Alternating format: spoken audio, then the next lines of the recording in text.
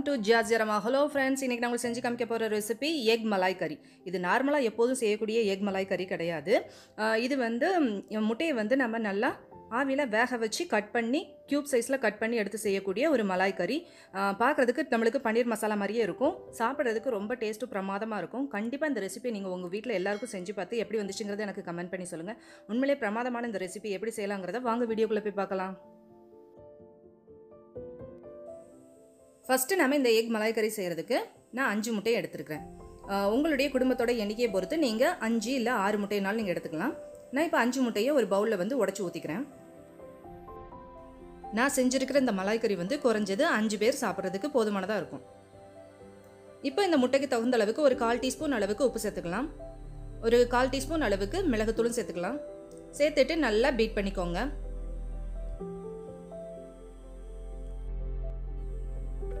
இப்போ பாருங்கள் நம்மளுடைய முட்டையை நம்ம நல்லா அடித்து எடுத்து வச்சாச்சு.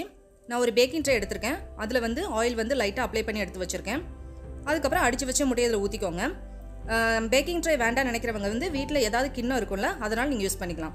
இப்போ பாருங்கள் நான் ஒரு பாத்திரத்தில் வந்து தண்ணியை ஊற்றி நல்லா கொதிக்க வச்சுருக்கேன். அதில் நம்ம அடித்து வச்ச முட்டை ட்ரேயை வந்து அதில் வச்சுட்டு ஒரு மூடியை வச்சு மூடி ஒரு பத்து நிமிஷம் நல்லா வேக விடுங்க.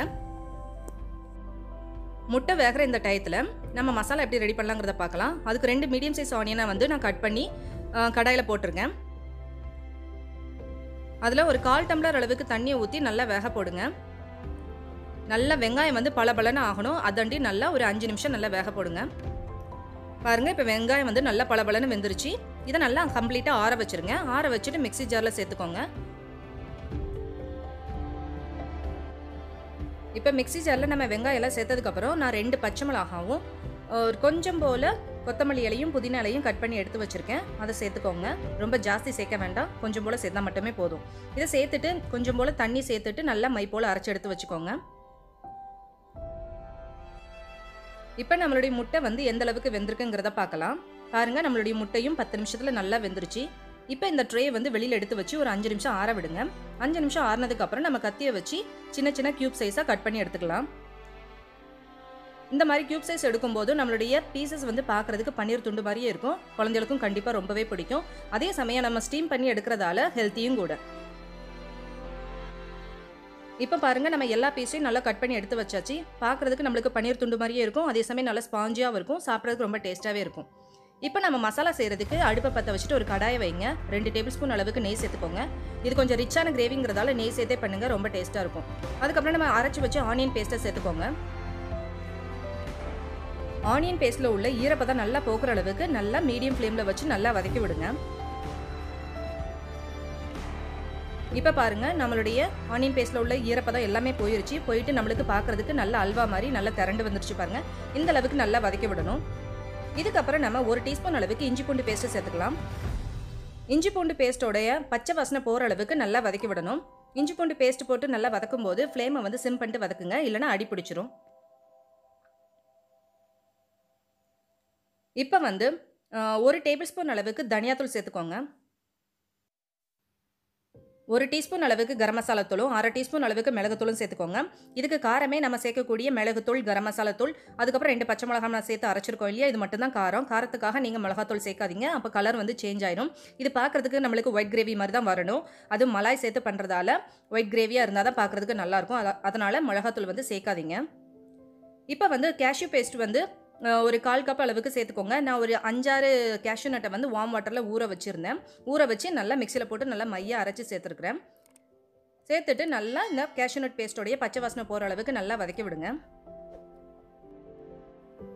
எப்போவுமே நம்ம முட்டையை வந்து கறியோ கிரேவியோ வைக்கிறதா இருந்தால் வேக வச்சு சேர்த்து தான் பழக்கமாக இருக்கும் அப்படி இல்லாமல் கொஞ்சம் வித்தியாசமாக இந்த மாதிரி ஸ்டீம் பண்ணி எடுத்து கட் பண்ணி க்யூப் சைஸில் கட் பண்ணி போட்டிங்கன்னா குழந்தைகளுக்கு பார்க்குறதுக்கும் ரொம்ப நல்லாயிருக்கும் அதே சமயம் சாப்பிட்றதுக்கும் நம்மளுக்கு பன்னீர் மாதிரி இருக்கேன்னு சொல்லிட்டு எல்லோரும் விரும்பி சாப்பிடுவாங்க. இப்போ நம்ம வந்து ஒரு கால் கப் அளவுக்கு தயிர் சேர்த்துக்கலாம். அதிகம் புளிப்பில்லாத தயிர் சேர்த்துக்கோங்க. இதுக்கு நம்ம தக்காளி சேர்க்க போகிறது இல்லை. தயிரோட புளிப்பு தான். ஆனால் லேசான புளிப்புள்ள தயிர் சேர்த்துக்கோங்க. தயிர் எப்போவுமே நம்ம சேர்க்கும் போது வந்து அப்படியே சேர்க்கக்கூடாது நல்லா கொஞ்சம் பீட் பண்ணிட்டு தான் சேர்க்கணும். அப்போ தான் நம்மளுக்கு வந்து தயிர் வந்து பிரிஞ்சு போகாமல் இருக்கும். இப்போ பாருங்கள் தயிர் சேர்த்துட்டு நல்லா கலந்து விட்டுருங்க. இப்போ வந்து ஒரு அரை கப் அளவுக்கு நான் பால் சேர்த்துக்கிறேன். இது ரிச்சான கிரேவிங்கிறதால கண்டிப்பாக பால் சேர்த்தே செய்யுங்க. பால் சேர்க்க வேண்டாம் நினைக்கிறீங்கன்னா ஒரு அரை டம்ளர் அளவுக்கு தண்ணினால் நீங்கள் சேர்த்துக்கலாம். ஆனால் பால் சேர்த்து செஞ்சு பாருங்கள் டேஸ்ட் வந்து ரொம்பவே நல்லாயிருக்கும் இப்போ நல்லா கலந்து விட்டுருங்க. இந்த கிரேவி செய்கிறது உண்மையிலே ரொம்ப ஈஸி தான். ஆனால் பொறுமையாக நிதானமாக ஸ்டெப் பை ஸ்டெப்பையாக தான் செய்யணும். அப்போ தான் டேஸ்ட் ரொம்ப நல்லாயிருக்கும் இப்போ வந்து நான் ஒரு அரை கப் அளவுக்கு தண்ணி சேர்த்துக்கிறேன். எனக்கு வந்து கிரேவி இன்னும் கொஞ்சம் வேணுங்கிறதால நான் கொஞ்சம் தண்ணி சேர்த்துக்கிறேன். இப்போ நல்லா கொதிக்க விடுங்க. இப்போ தேவையான அளவுக்கு உப்பு சேர்த்துக்கோங்க. நான் ஒரு டீஸ்பூன் அளவுக்கு உப்பு சேர்த்துருக்கிறேன். இப்போ பாருங்கள் நல்லா கொதிச்சாச்சு. இப்போ நல்லா நம்மளுடைய கிரேவி கொதிச்சாச்சு. இப்போ ஒரு மூடியை வச்சு மூடிட்டு ஃப்ளேமை வந்து சிம் பண்ணிவிட்டு ஒரு அஞ்சுலேருந்து ஏழு நிமிஷம் நல்லா வேக விடுங்க. அதனுடைய பச்சை வாசனைலாம் போய் ஆயிலாம் ரிலீஸ் ஆகணும். இப்போ பாருங்கள் அஞ்சு நிமிஷத்தில் நம்மளுடைய ஆயிலாம் நல்லா ரிலீஸ் ஆகி வந்திருக்கு. இந்த ஸ்டேஜில் வந்து நம்ம முட்டையை வேக வச்சு கட் பண்ணி எடுத்து வச்சுருக்கோம் இல்லையா? அதை வந்து இப்போ இந்த கிரேவியில் போட்டுக்கலாம். இந்த வீடியோ பார்க்குற யாராவது சப்ஸ்கிரைப் பண்ணாமல் பார்க்குறீங்களா ப்ளீஸ் சப்ஸ்கிரைப் பண்ணிட்டு பாருங்க. அப்போ தான் எங்களுக்கும் புது புது வீடியோக்கள் போடணுங்கிற ஒரு ஆர்வமும் இருக்கும். நீங்கள் எங்களை என்கரேஜ் பண்ண மாதிரி இருக்கும். அதனால் ப்ளீஸ் சப்ஸ்கிரைப் பண்ணிட்டு பாருங்க. இப்போ வந்து ஒரு கால் கப் அளவுக்கு நான் ஃப்ரெஷ் க்ரீம் எடுத்து வச்சிருக்கேன். அதை வந்து இப்போ கொஞ்சம் ஊற்றிக்கோங்க இப்போ ஃப்ரெஷ் க்ரீம் ஊற்றினதுக்கப்புறம் நம்ம வந்து ரொம்பையும் கலந்து விடக்கூடாது. ஏன்னா நம்ம முட்டையெல்லாம் சேர்த்தாச்சு. சேர்த்ததுக்கப்புறம் ரொம்ப கலந்து விட்டோம்னா முட்டையோட பீசஸ்லாம் உடையிறதுக்கு வாய்ப்பு இருக்குது அதனால் லைட்டாக வந்து கலந்து விட்டுக்கோங்க. இப்போ இது ஷாகி கிரேவிங்கிறதால நம்ம கசூரி மெத்தி ஒரு அரை டீஸ்பூன் அளவுக்கு கையாலே லைட்டாக க்ரஷ் பண்ணி சேர்த்துக்கோங்க. இந்த கிரேவிக்கு இது கொஞ்சம் ரிச்சான ஒரு ஃப்ளேவராக இருக்கும். கண்டிப்பாக சேர்த்துக்கோங்க. இப்போ பாருங்க நம்ம ஃப்ரெஷ் க்ரீம் கசூரி மெத்தி எல்லாம் சேர்த்தாச்சு. சேர்த்துட்டு நல்லா கலந்து விட்டுட்டு மூடியை வச்சு மூடிட்டு ஃப்ளேமை சிம் பண்ணிட்டு ஒரு ரெண்டு நிமிஷம் மட்டும் அப்படியே வச்சுருந்தோன்னா சூப்பரான நம்மளுடைய எக் கியூப் கறி அதாவது மலா எக் கியூப் கறி வந்து சூப்பராக ரெடி ஆயிடுச்சு இதுக்கப்புறம் ஒரு டீஸ்பூன் அளவுக்கு பட்டர் சேர்த்தாச்சுன்னா சூப்பராக சுட சுட நம்ம வந்து சப்பாத்தி பூரி நான் பராட்டா அதோட மட்டும் இல்லாமல் கீ ரைஸ் கூட இது சூப்பராக சூட்டபிளாக இருக்கும். இதை நீங்கள் உங்கள் வீட்டில் எல்லாருக்கும் செஞ்சு பார்த்து எப்படி வந்துச்சுங்கிறது எனக்கு கமெண்ட் பண்ணி சொல்லுங்கள் அதோட உங்கள் ஃப்ரெண்ட்ஸுக்கு ஷேர் பண்ணுங்க லைக் பண்ணுங்கள் கமெண்ட் பண்ணுங்கள் சப்ஸ்கிரைப் பண்ண மறந்துடாதீங்க. உங்களை நெக்ஸ்ட் வீடியோவில் சந்திக்கும் வரை பாய் அண்ட் தேங்க்யூ